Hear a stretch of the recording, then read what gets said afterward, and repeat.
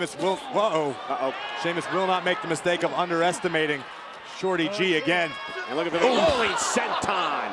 One of the trademark moves of the Celtic Warrior.